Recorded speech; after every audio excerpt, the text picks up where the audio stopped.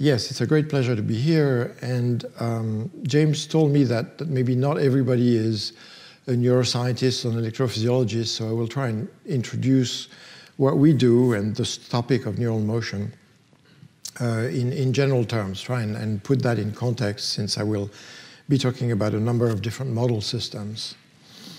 Um, much of what we do, and especially since uh, moving to Germany, since we've moved uh, model systems, is embedded in um, some kind of evolutionary context. And I think that uh, neuroscience has evolved tremendously over the past uh, 40 years and has lost a lot of uh, the comparative aspect with which it started.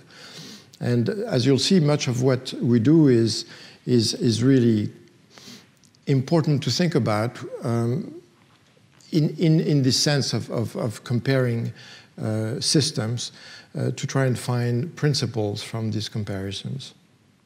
When you bring in evolution in neuroscience, there's at least two ways of exploiting what you can get from uh, this type of understanding. And the first one is to look at the past to explain the present, sort of uh, exploit this uh, principle of inheritance of what's been developed and invented and evolved earlier. And so this applies mostly to uh, mechanisms, to molecules, developmental processes, and so on, and uh, illuminates our understanding of structures as we can study them today. So we've applied that to a number of different systems, and one of them has been, for example, to look at the evolution of cortex. So we work on, uh, among others, the um, forebrain of reptiles, uh, because reptiles happen to be the only other uh, vertebrates, amniotes, than mammals to have a cerebral cortex with well-defined layers. And since reptiles and mammals co-evolved from a common ancestor, amniotes, that must have lived on Earth about 320 million years ago or so, by looking at the reptilian cortex, we think that we're probably looking at something which is much closer to the ancestral cortical structure. And by studying that structure, trying to understand how it works, we'd have some kind of understanding of the basis of cortical computation. By chance, um, I had a wonderful postdoc join the lab who is a molecular biologist interested in evolution and development, uh, Maria Tosches. And um, she decided, after looking at the complexity of reptilian cortex, that it might be fun to do single cell transcriptomics on this system.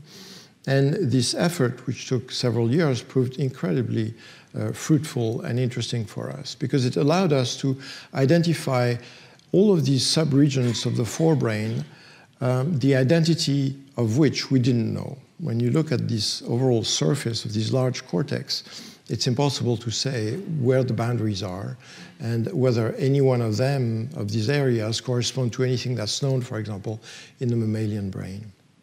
And so that has led us to be able to uh, identify within that cortical sheet regions that are, for example, homologous to the mammalian hippocampus.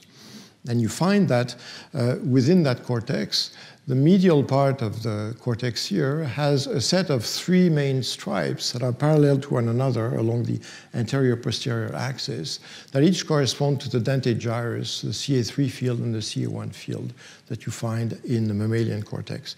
They're homologous from a transcriptomic point of view. That has allowed us to also find an area that is most homologous to what will become the neocortex of uh, mammals with its six layers. And other pallial regions that we didn't expect to find, for example, are things such as the claustrum, which is a weird elongated area that's stuck under the insular cortex of the mammalian brain, whose role is really uh, not well understood. That also exists in the reptilian brain, and this, that is in totally different regions in two different species of reptiles, in turtles and, and in lizards, for example, and yet constitute a uh, transcriptomically homologous region to the mammalian claustrum. So we're studying all of these regions in different functional contexts. Another extremely useful result of this kind of approach allowed us to look at the identity of the different cell types within reptilian cortex. And for example, in this case, the interneurons. And we found that the interneurons can be classified in main classes that are defined by their uh, embryonic uh, origin and their site of origins, and so defined by the ganglionic eminences from which they come, such that they can, they can be characterized exactly in the same way as uh, mammalian interneurons. But then the subtypes that you find within each one of these classes diverge in the mammalian and reptilian lineages. So you find Martinotti cells, cells that have been called Martinotti cells, for example, in the, among the mammals. You find cells that contain and has express, express some of those Martinotti-like genes, but you cannot characterize them as Martinotti cells from many of the phenotypic characteristics that they have in mammals, for example.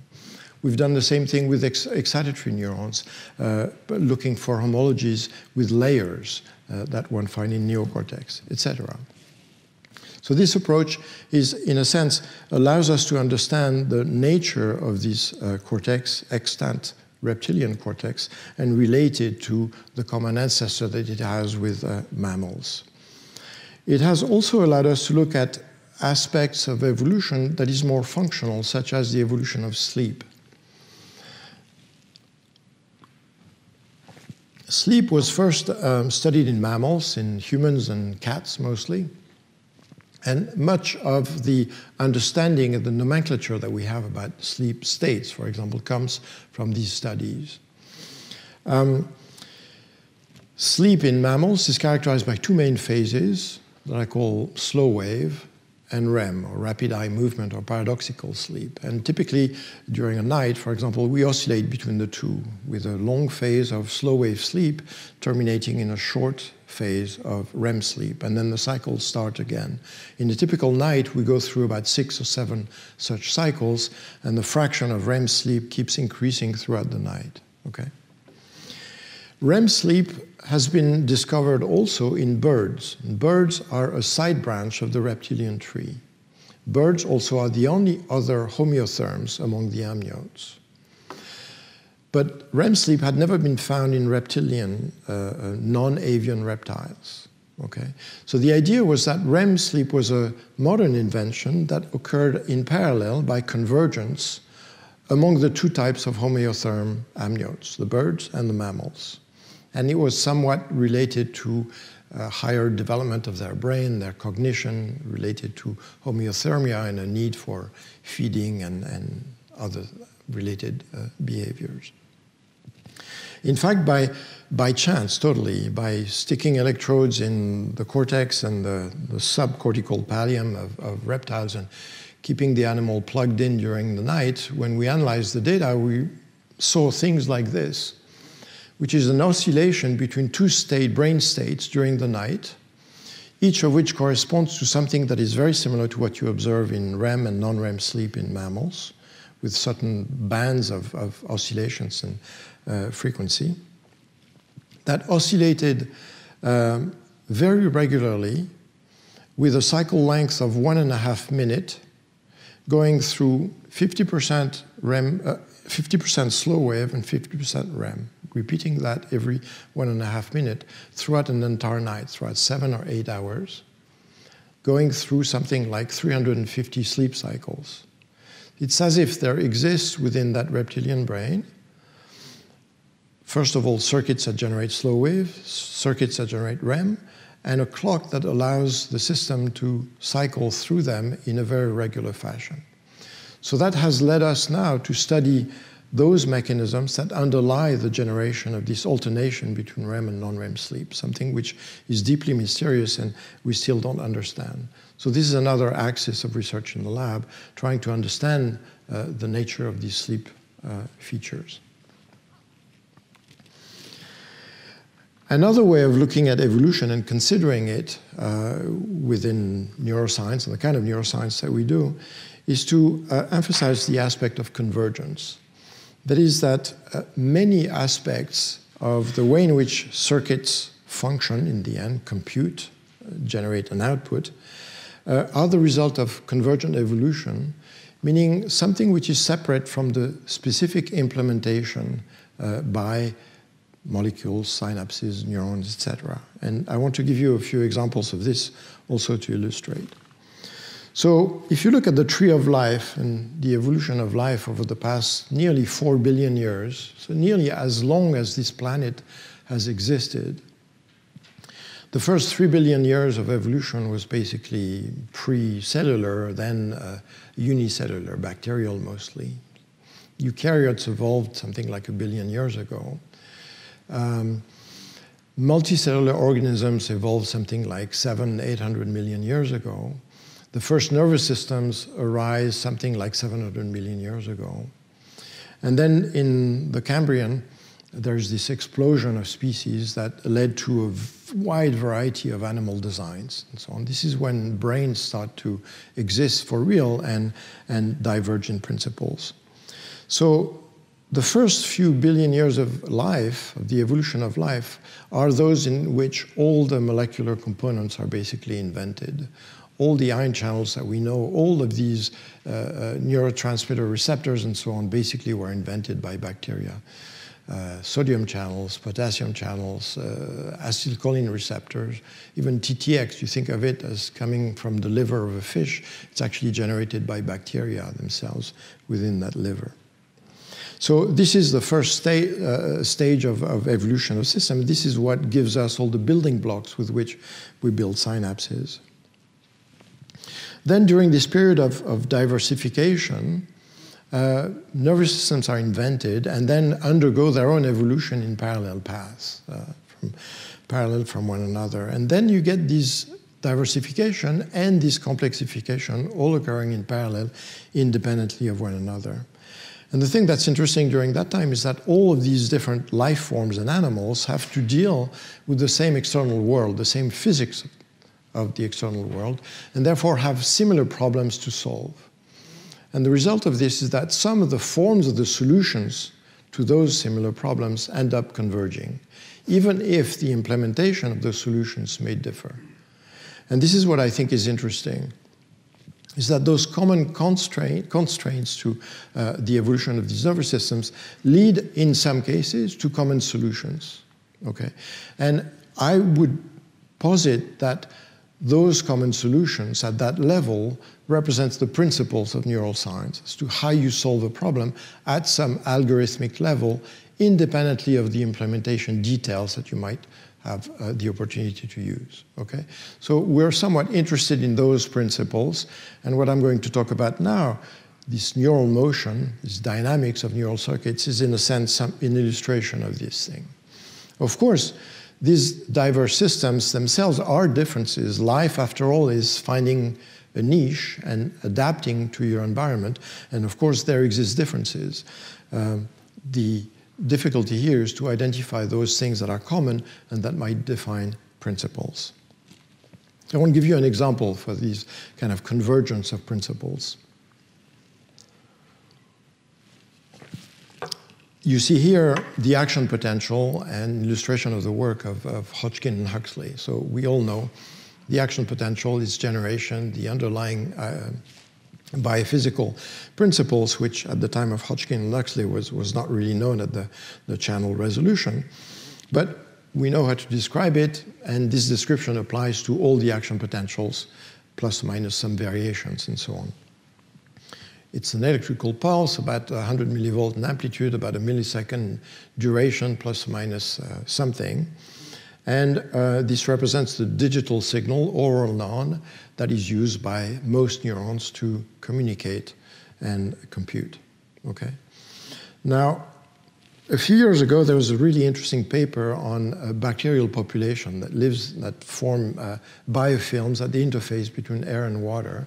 And these bacterial populations grow extremely large with uh, millions and billions of cells, which uh, after a while uh, create some kind of imbalance in the access to nutrients. And when that happens, um, the, the, the, access to nutrients means that certain regions can grow faster than others, some imbalance occurs, and the population has to somewhat coordinate its access to, uh, or its, its metabolism.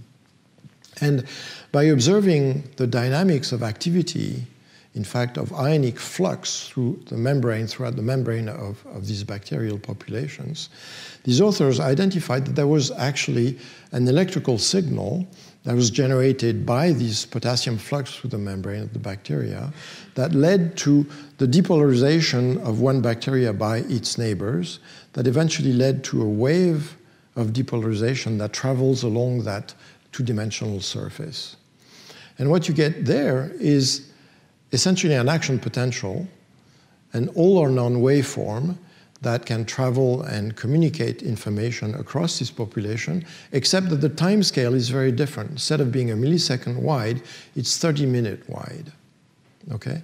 But this is just a parameter. It doesn't really matter in the sense of finding a principle for communication. You have a digital pulse that's used by a bacterial population, which has, of course, no brain and no nervous system, but that ends up being something that's uh, globally similar to an action potential in a network of neurons. Okay? So this is the kind of stuff that I find really interesting, and this is what we're trying to uh, focus on. So what I'll talk about here is three systems that are completely different, an insect, a mollusk, a cephalopod, and then a vertebrate, a reptile. Three completely different nervous systems as well, one of them is an olfactory system, another one is a motor system, and the last one is a cortical system. But they all share certain aspects of dynamics of activity within them that I think might be related to one another. And this is what I want to try and explain and, and, and develop here. So we'll start with the locust, go to the, the cephalopod, the cuttlefish, and then finish with the turtle. So the work on olfaction is work that we did uh, when, when we were still at, at Caltech. And that is, in this case, the work that I'll describe, all done in one species, a grasshopper or locust, and its uh, olfactory system. The olfactory system of insects is composed of a nose, which is the antenna that has a large number of receptors. And those converge to a first region of the brain called the antennal lobe, which is the functional analog of the olfactory bulb. And within that structure, you find two types of neurons, local interneurons and projection cells, or projection neurons, or PNs, that are the analogs of the mitral cells that one finds in the olfactory bulb. So we started doing experiments and recording, in this case with an intracellular electrode from a cell, so here is one neuron being recorded and its response to a pulse of odor at each one of these little rectangle there. And the peculiar thing about the response of these cells is this temporal patterning of spiking, where you can see a burst of spike, an inhibition, a second burst of spike, and this repeats every time you present the stimulus. But if you change the odor to that same neuron, you can see that it also responds to the same odor, but with a temporal pattern that is completely different to the first one. And if you present 50 odors, this cell will respond to nearly all of the odors, but in a slightly different way every time. Okay? By contrast, if you change, you put your electrode in a second neuron, the one just neighboring that one, you'll find that again, that cell will respond to a bunch of different odors with different patterns, but the pattern to this odor could be this one rather than that one. In other words, every neuron responds in a particular way, that's stimulus specific.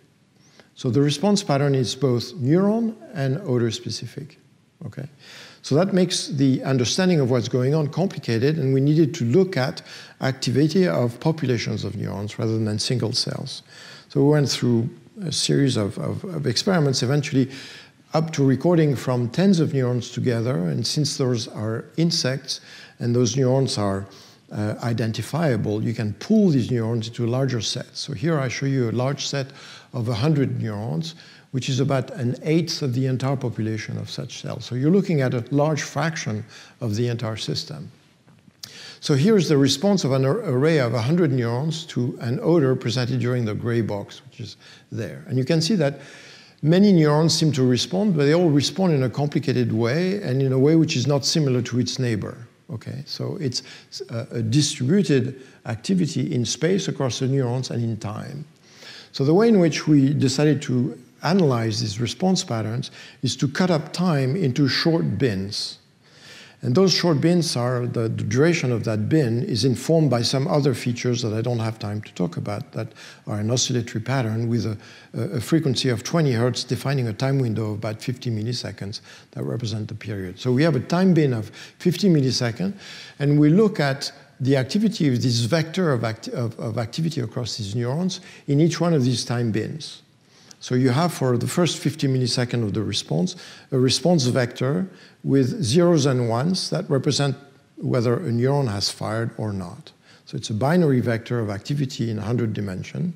And then you move your bin 50 milliseconds hence, measure the vector of activity across those cells, and do that over the entire period of the response, say two seconds or three seconds. Okay?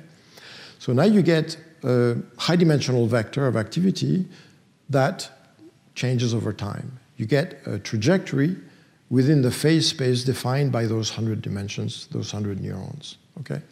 So you can use techniques to reduce that dimensionality to two or three so that you can project this into a low dimensional space as is done here. So in this case, PCA, you just project the, the entire activity over the first three P, uh, PCs. And what you find is a trajectory like this that represents this activity here. And each one of these red traces is one trial, and the average is the black trace you see underneath.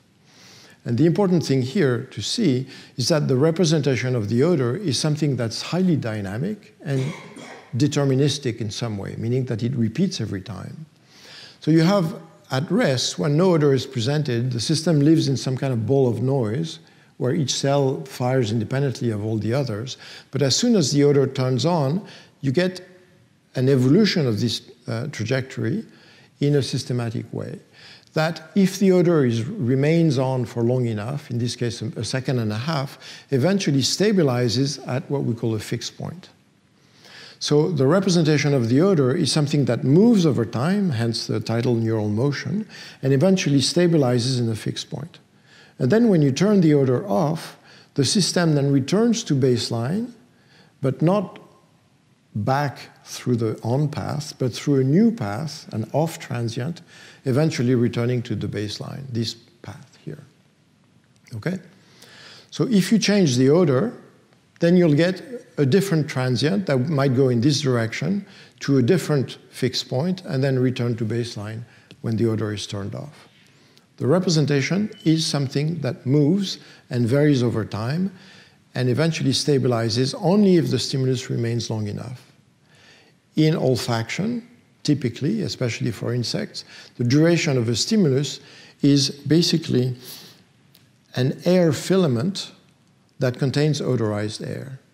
And an animal moving through it will generally be stimulated for no more than a couple of hundred milliseconds. So in reality, the system never reaches that fixed point, and the representation is always dynamic. Okay? Now, when you have this kind of representation, you can play games with the stimulus. For example, present a number of different concentrations of an odor. And what you find is that each concentration generates a different family of trajectories that are nested within one another. Okay? So if you had an infinite number of concentrations, you'd find that you'd tile this entire surface and you'd find some kind of low dimensional sur surface within that space. We call that a, a low dimensional manifold. And we think that the representation, the way to think about a representation of an odor is as low dimensional manifolds within this large state space. If you present another odor with different concentrations, you define a different manifolds uh, that visits other regions of that state space. Okay? Now, the beautiful thing about these small systems is that you can look at the cells that do the decoding. So far, everything we've done is we as observers trying to make sense of this activity. But of course, in a real nervous system, those that make sense of this activity are the cells that are directly downstream of these uh, cells. And those are located in an area that's called the mushroom body that's made of a very large number of very small cells called Kenyon cells, and we can record from them. And when you record from them, you can ask them, when do you respond? Do you respond when the system is in motion, the input is in motion, or when the system has reached a steady state? And what you find is that the system of Kenyon cells responds only when the system, the input is in motion. In other words, the decoding of the activity occurs only for the activity which is in motion, which is during the transient. In other words, the steady state, that fixed point, exists, but it's not being decoded by the neurons downstream. So if you think of it from the point of view of measuring activity in a population of neurons, when you measure an average rate, it only makes sense to measure this average rate when you reach a steady state. Here you have no steady state. You only have a steady state at the fixed point, but the fixed point is not decoded. In other words, you have to keep track of these dynamics and this evolving activity in the input population to make sense of it. Okay? Now, how do these Kenyon cells decode this input? Well, what you find is that the responses of these Kenyon cells are extremely specific. Contrary to the PNs that I just described that respond to nearly every odor with a different temporal pattern, the Kenyon cell responds to a very tiny fraction of the odors you present, but with only one or two spikes every time, okay? And the reason they do so is that they basically sample a very small volume within the state space within which the PN population evolves. So here is, if you will, the receptive field of a Kenyon cell. it's a small region within that entire uh, phase space. And if the trajectory that's defined by the PN population traverses it, then you get one or two spikes in that Kenyon cell. As soon as the PN vector moves out of that little region, the cell becomes silent again. Okay? Now, you can play games again with the stimulus. For example, present the same stimulus and then add a second one that will deviate the input trajectory. That's what happens with this red arrow here. You let the stimulus evolve, enter that region that causes a response in the cell, and then add a new odor that moves it out. And as soon as you do that, then the Kenyon cell stops responding. And if you present yet another stimulus, that moves outside entirely of this region, the cell doesn't respond at all. Okay?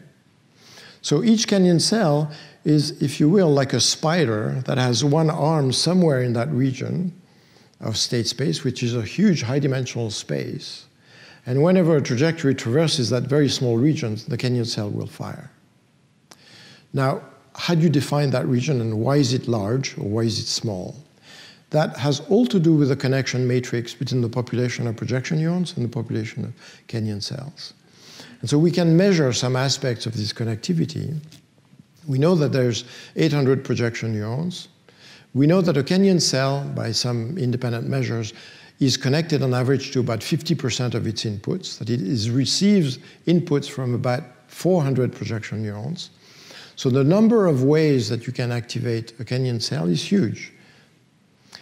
In addition, the firing threshold of a Kenyon cell is about 100 coincident input.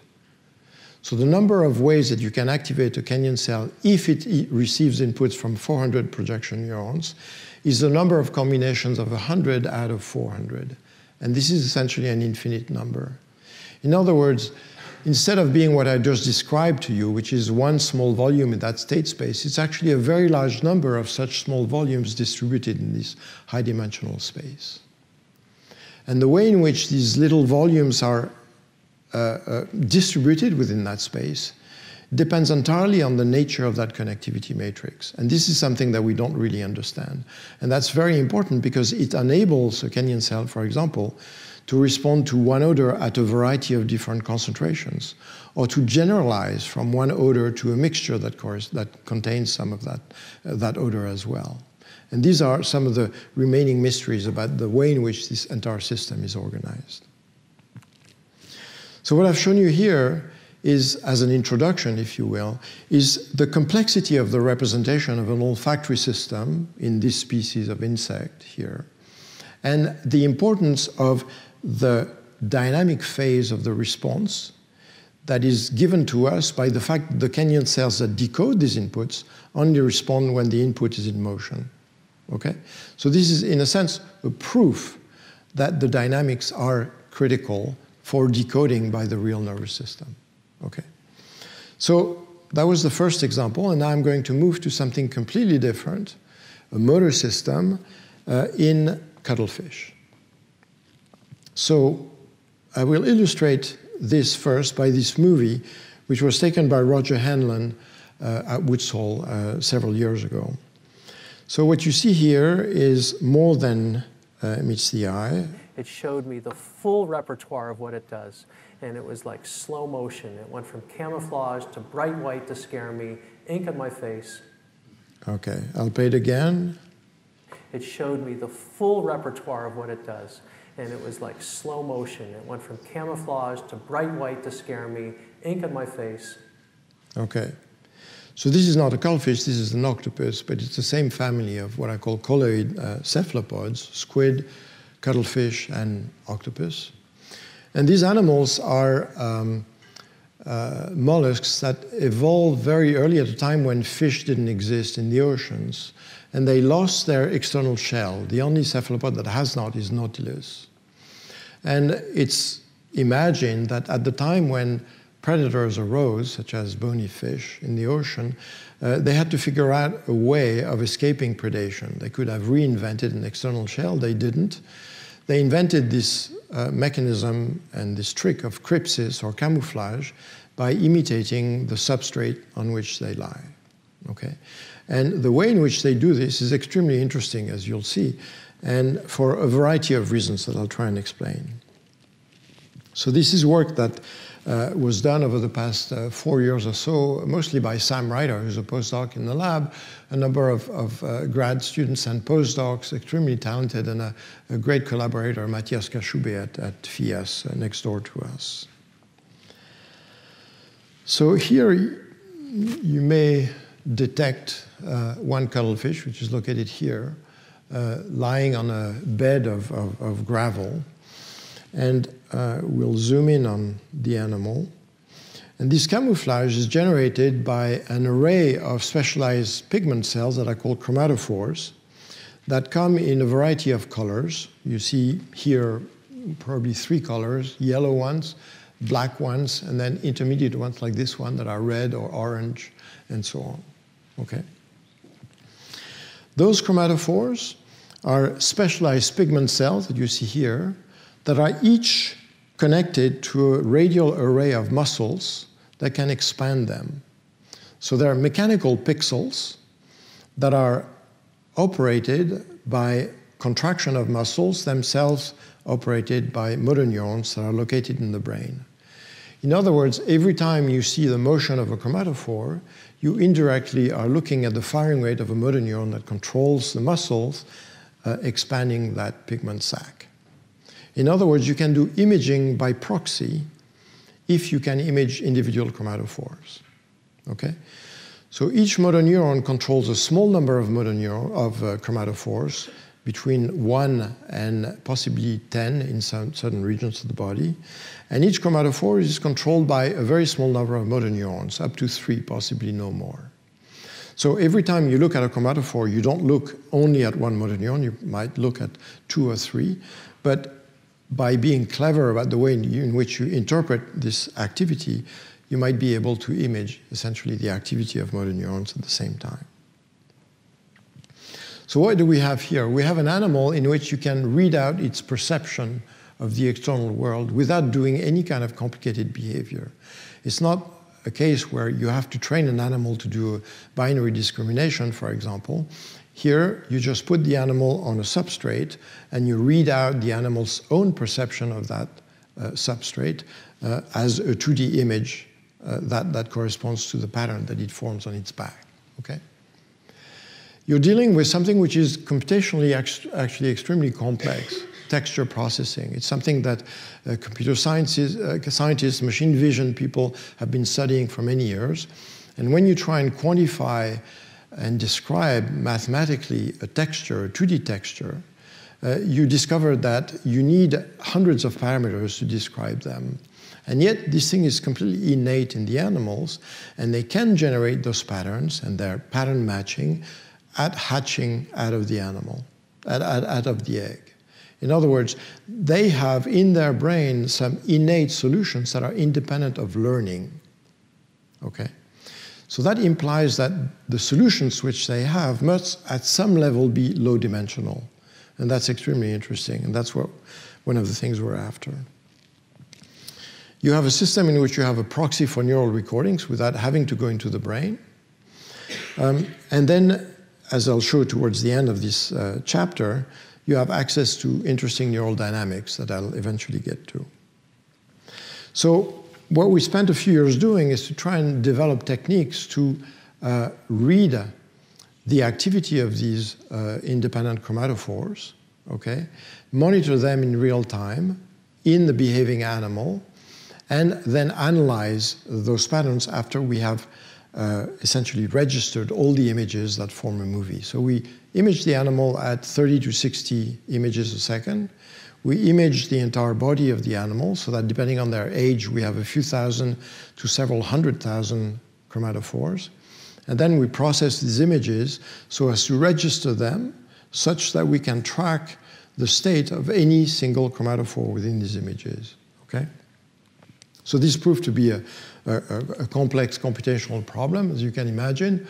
Here's, a, for example, a frame with a set of chromatophores. This is the same animal five minutes later. It has changed its pattern. And what we have to do is to match individual chromatophores from one image or one state to another. So we want to identify the same set of chromatophores here as are there and be able to stitch them all together throughout the life of this animal.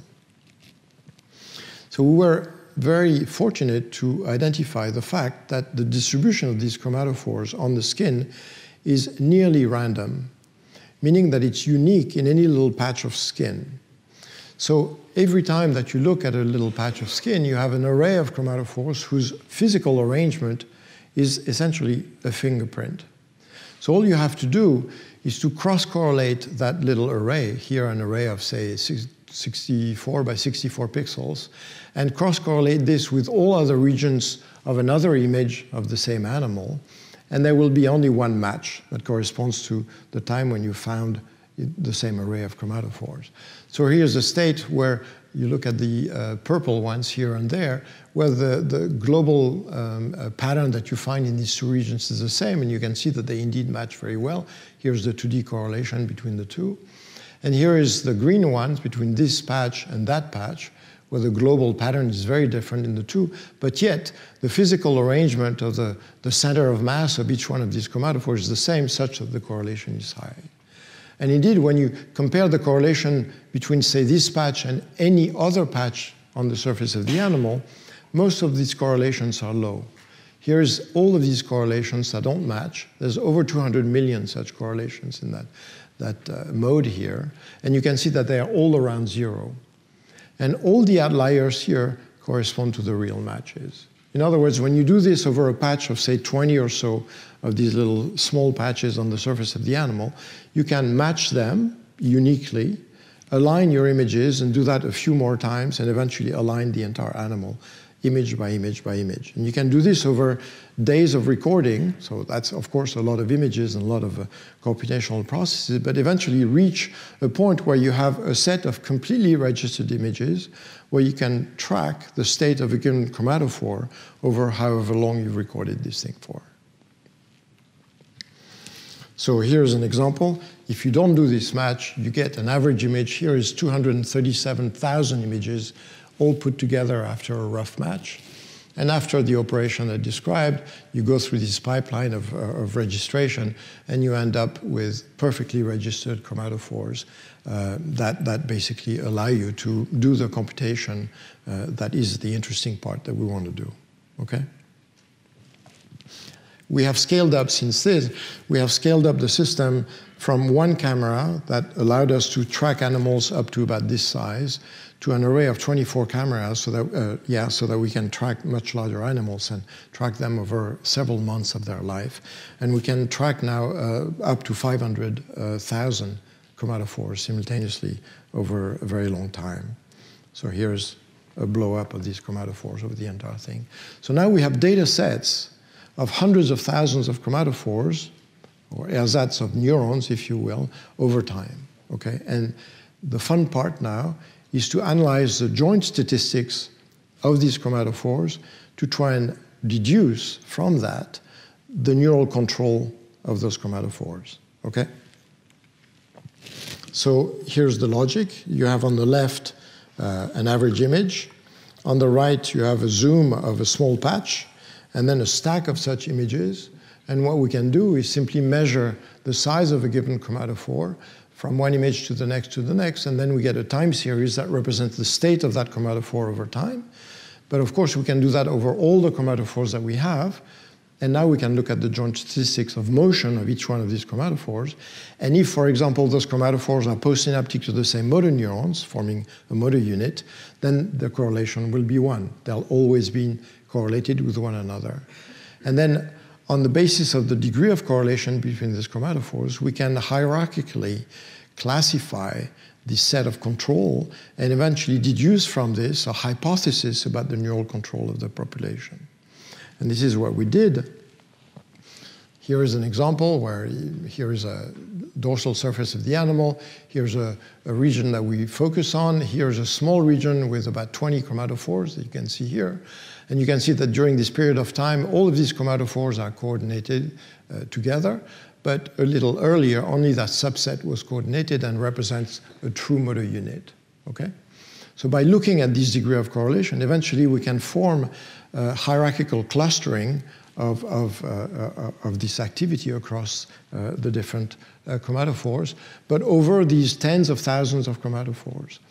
And reach a description such as this one that represents the degree of correlation between them, where at the bottom here are all the chromatophores and the units that are most correlated with one another, and uh, a set of hierarchical levels with lower and lower correlation. Okay? And so what do these correspond to? At the lowest level here, what you have are the, the, motor, the motor units, basically the set of chromatophores that are postsynaptic to a single motor neuron. And what you find is that they form little clumps. All these different groups here are chromatophores that are postsynaptic to a single motor neuron. But then as you move up this uh, hierarchical clustering here, you find larger clusters, such as this one or that one, that represents groupings of those okay, that presumably represent the control of those motor units by higher order neurons responsible for the formation of these subpatterns, for example, a band or a clump and so on. And as you move up that hierarchical uh, uh, diagram here, you end up with presumed neurons whose activity is responsible, for example, for the formation of a large rectangle, which, which is what you see here. Okay?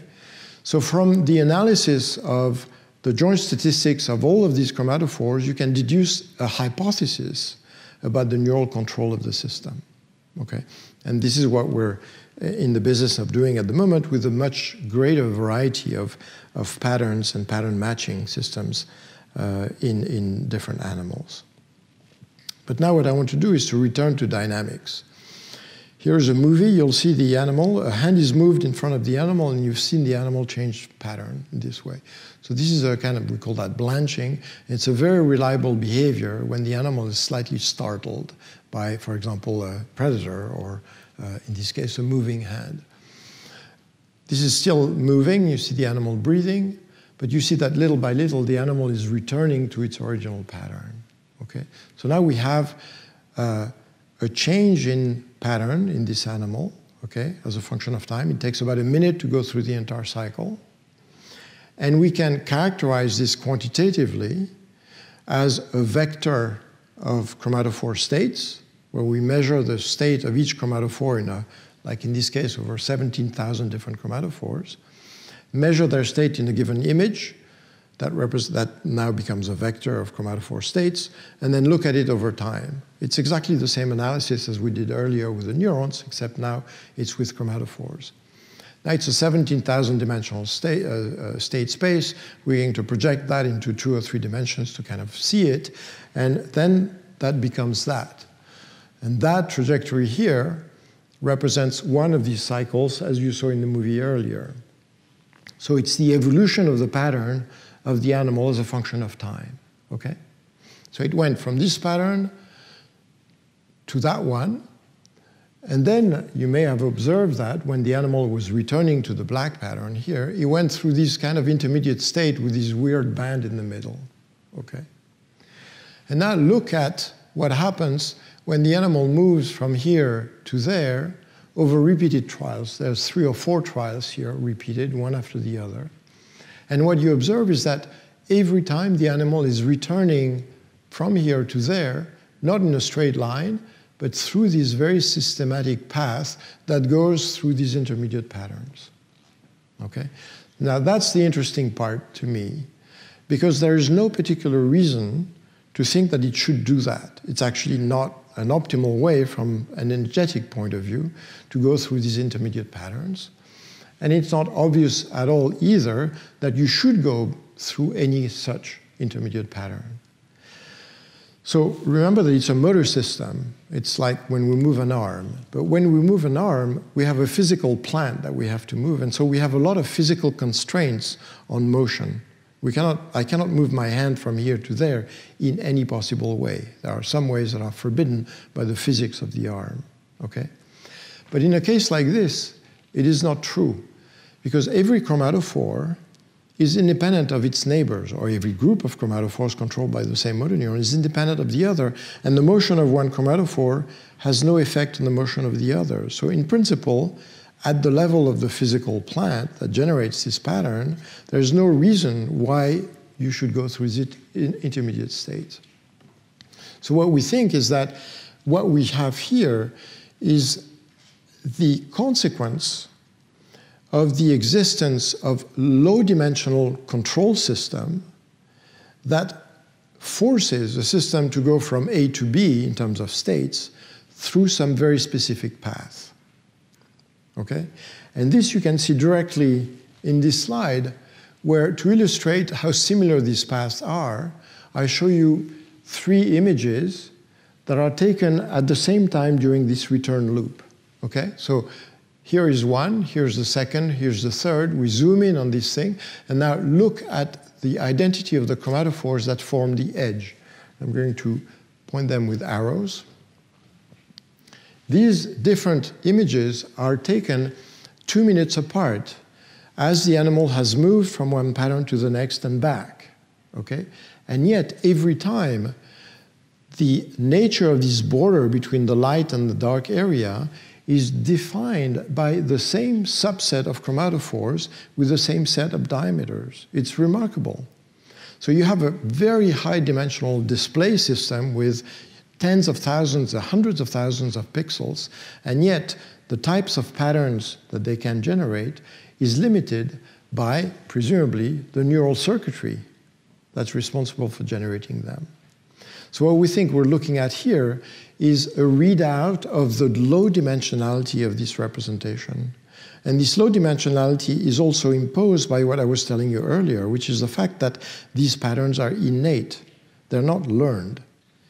Meaning that if you wanted to encode a system that can generate any kind of pattern in the genome of this animal, it would be incredibly complex. It's a huge brain with millions and hundreds of millions of neurons. So there has to be somewhere in the nervous system of this animal some kind of low dimensional representation of the patterns that they can generate. And of course, we don't know what this representation is. We're after it. This is basically moving back from the patterns that we can analyze into the nervous system. This is what we're after. And we think that this low dimensional representation is in fact the cause for the similarity of paths that are taken by the nervous system. Okay? So again, it's another example where what we have here, what we think we have here, is the expression of the fact that in a nervous system, if you want to move from one state to another, there are constraints on the path that you can take. And those constraints are given by the connectivity of the system and its dimensionality. And we think we have an expression of this in this particular system. So that was the second uh, example, and I want now to go to the third one, it'll be possibly a little, little quicker, which is yet again completely different and concerns the cerebral cortex, in this case, the, the cerebral cortex of turtles.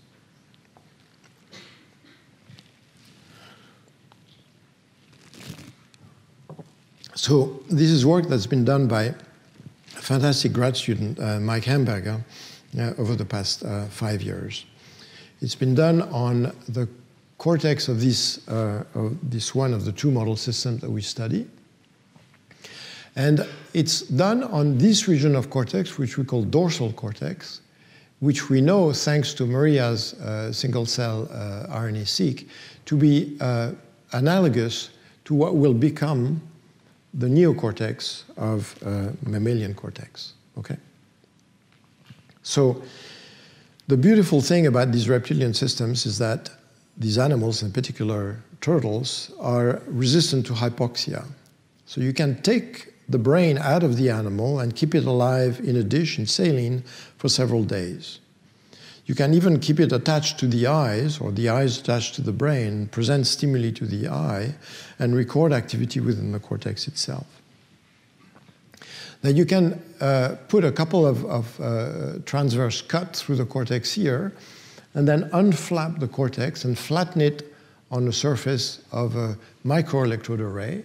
And because the cortex is thin, it's about 200 microns thick, and the single cell layer of pyramidal cells is about 50 microns away from the ventricular surface, you can, with that MIA, that microelectrode array, record the activity of pyramidal cells and interneurons. And typically you can record from 300 to 1200 neurons with a one square millimeter array of electrodes. Okay? We developed techniques to analyze these patterns, and we discovered, looking in detail at, uh, at, at the, the, spiking responses of cells, that when you open your filters, following the spike of any, any neurons that produce an action potential, there's always a low frequency signal following it that represents the synaptic uh, consequences of, of release from the neurons that has just produced an action potential. And they come in two polarities, here and there, that are correlated with whether the neurons are excitatory or inhibitory. In other words, from the sign of this low frequency signal, you can define whether it's an excitatory neuron or an interneuron. And this categorization is much more reliable than the width of the action potential itself. So you can record from hundreds of neurons with a MIA, okay? And you can classify those neurons as in, in interneurons or projection neurons. Sorry, I have a cold in that.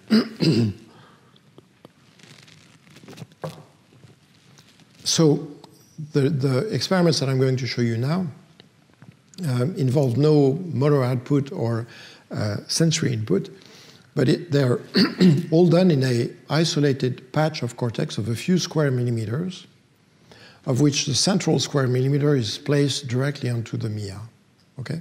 With that, we can record from hundreds of projection neurons or pyramidal cells and interneurons. And Mike is going to patch one cell going through the PIA up to the cell layer, patch one pyramidal cell, and inject a current pulse in that pyramidal cell to make it fire. And what we're going to look at is the consequence of firing that single pyramidal cell. Okay? So you can see that illustrated there, patch uh, pyramidal cell with a MIA record from this population of cells. So here is the current pulse, in this case a two second long current pulse. This is the voltage of that pyramidal cell. You can see that that cell fires two action potentials here, and then there is this hyperpolarization there. If you repeat this, you get this hyperpolarization repeated many times okay? And it's, in fact, you can see it's made of compound IPSPs, right? And these IPSPs are generated by interneurons that we can record from that are within that square millimeter of cortex that have been activated by that single pyramidal cell, okay? So, for example, the first two uh, lines that you see here are uh, the rasters of two interneurons that are directly connected to this one, causing the IPSP in that single cell. So what this says is that two spikes from a pyramidal cell are sufficient to activate a negative feedback onto that same cell, okay? But in fact, you can see that two spikes from that cell are enough to activate over 60 different neurons within that same little patch of cortex, okay? It's an incredibly efficient way of activating the cortex with only a couple of spikes, okay? So what we're going to do now is to focus on those cells that are activated by just a few spikes coming from that patch neuron. And we're going to call those cells follower cells. They're defined or selected with a reliability criterion, meaning we provide hundreds of those uh, pulses, and we put a threshold on the number of pulses, the fraction of pulses, within which those cells will respond. We put a threshold, X percent, and we're going to select those. So we're going to look at the activity of those reliable cells, which we call followers. So here's a set of followers for that particular experiment. There's, I don't know, 13 or 14 of them. Um, they're in uh, random order. And what I'm going to do now is to reorder them by rank. The first and the second and the third to spike, okay? So you get a sequence. That's, of course, a consequence of reordering them. And now we're going to keep that order and show the activity of this set of cells over repeated trials, repeated pulses, okay? And this is what you see there. So there's 10 trials, or yeah, 10 trials here, and this is the same set of cells in the same order. And you can see that every time you get this sequential activation of these neurons as a consequence of only two spikes coming from that pyramidal cell that has been patched. You can see that there's some noise, but if you make a raster here with all the first cell, the second cell, the third, etc., you can see that the distribution of spike times of those cells is actually very narrow with a, a, jitter of about five milliseconds.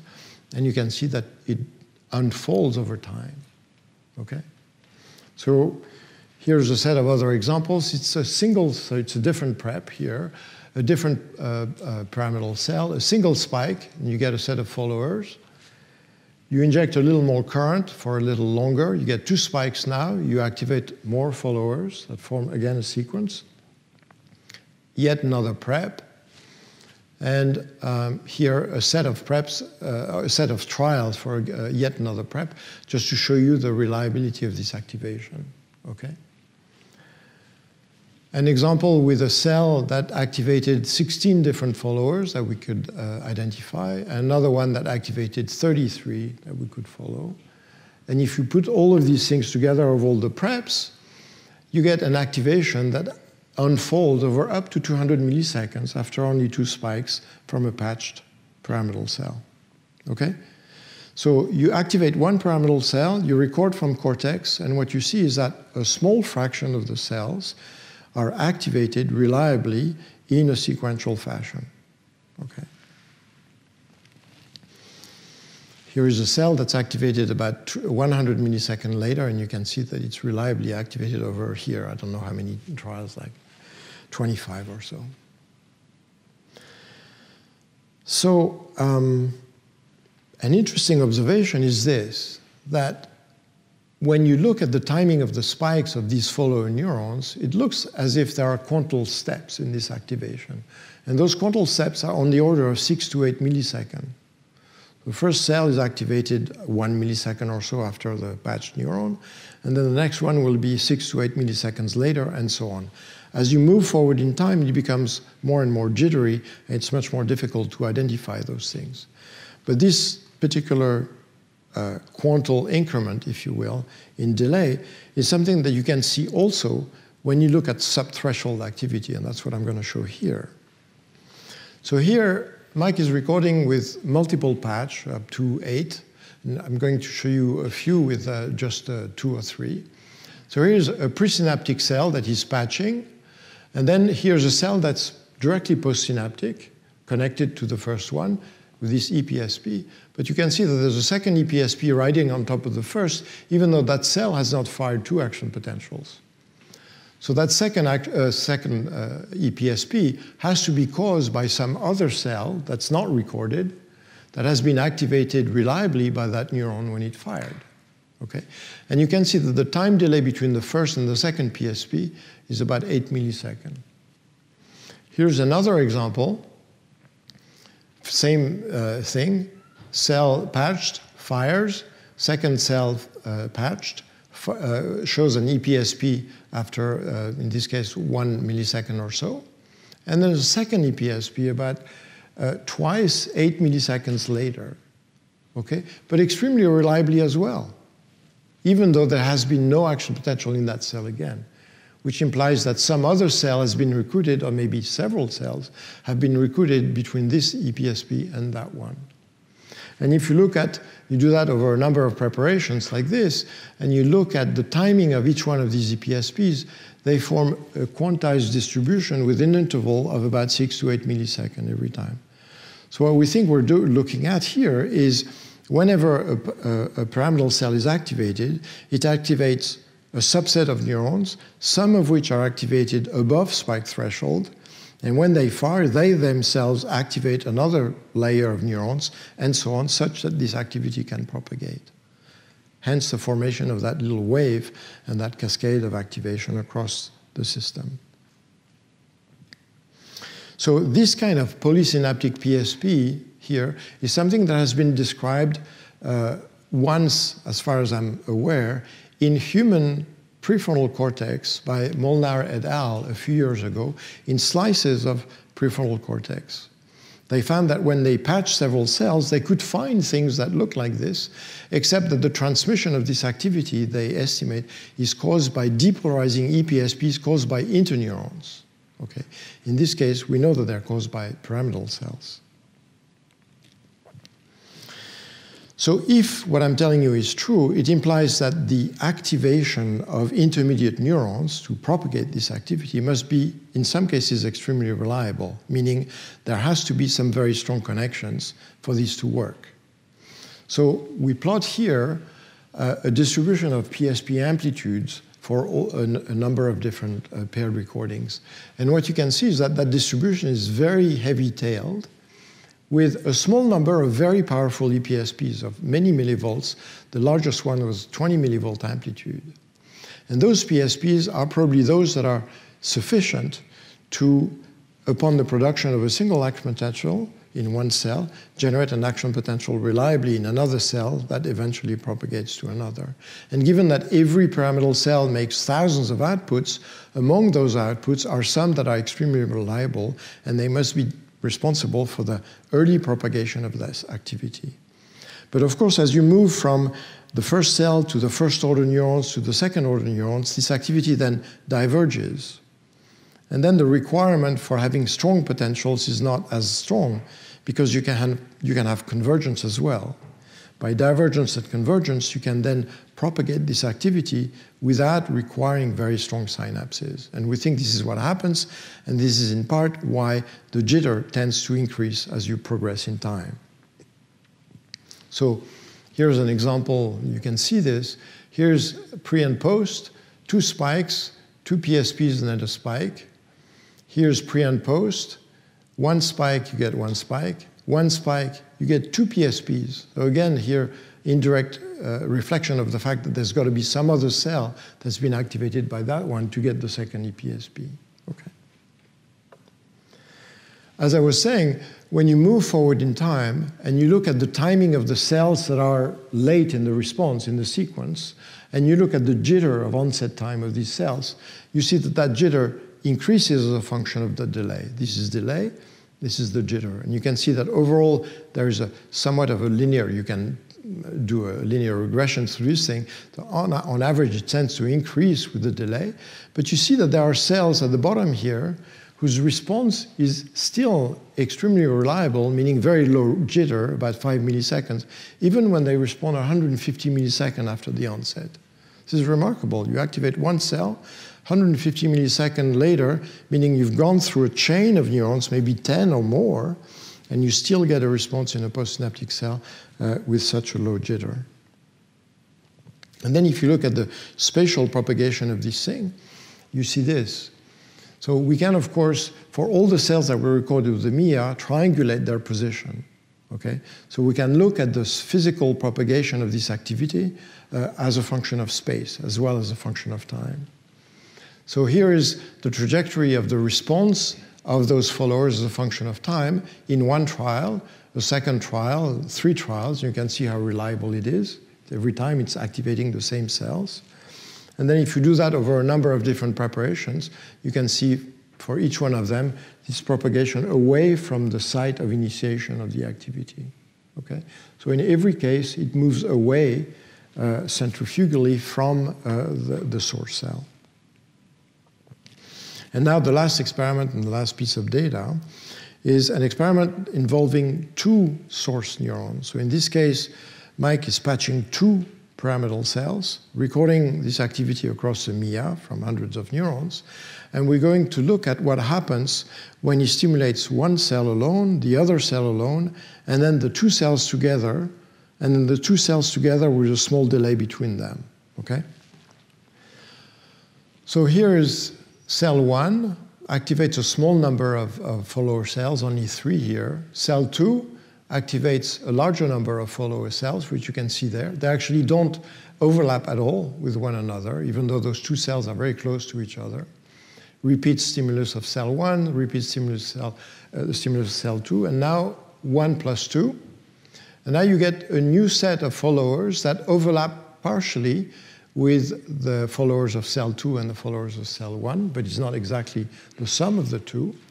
And now the more interesting thing is stimulate 2 then 1, okay, with 10 millisecond difference between the onset of 2 and the onset of 1, and you activate a new set of followers, this case. And now reverse the order, 1 then 2. And this set of followers is silent, and you get a new set of followers in this case.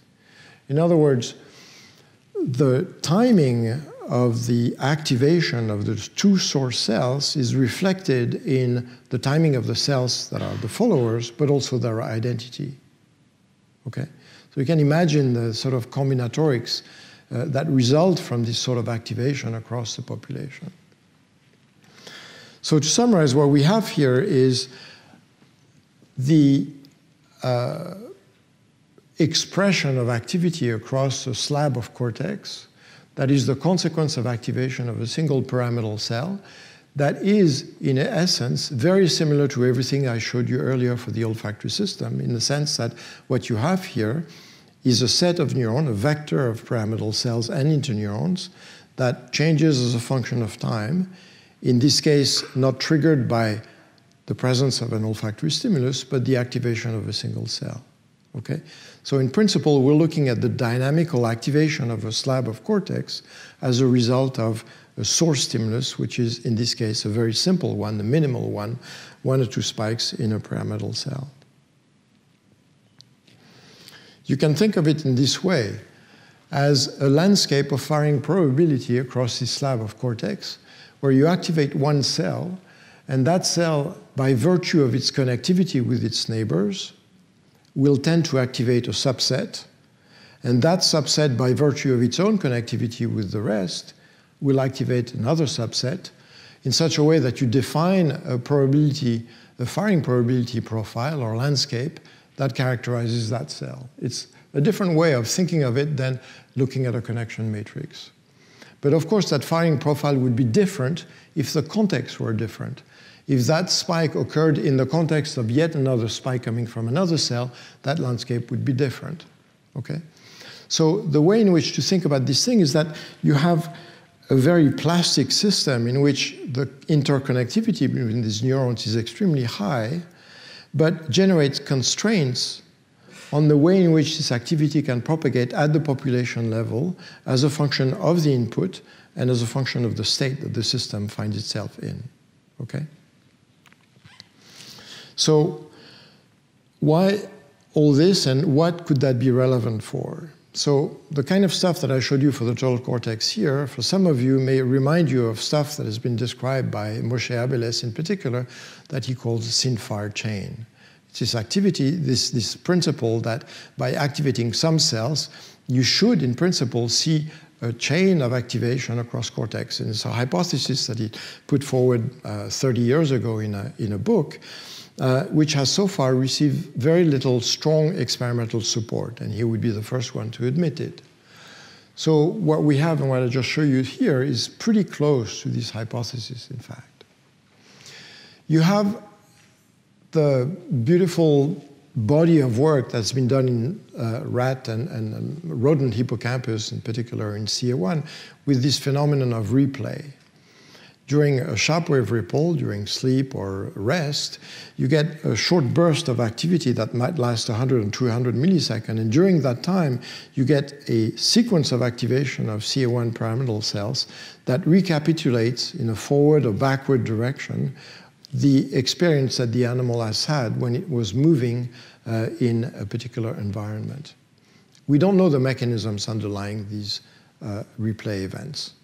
Okay, I'm not saying that what I'm describing here explains this, but in the end, you're looking in hippocampus at the cortical structure, which is the closest to a reptilian cortex, uh, basically a three-layered cortex with one layer of pyramidal cells. Maybe there's something to learn uh, from one to the other. Another beautiful example is the stuff that's been done by um, Richard Hahnloser, Michael Fee, Michael Long, and others on the song system of, of birds, of zebra finches. And in this nucleus called HVC, you get this sequence of very sparsely responding cells during the generation of a song. And this sequence is sparse in the sense that each neuron fires only once in a very narrow window of time of a few milliseconds. And the generation of the song is characterized by a sequential activation of these cells. Again, we don't know what generates this, but a hypothesis is that it is caused by the sequential activation in a way that is described for the, the cortex there.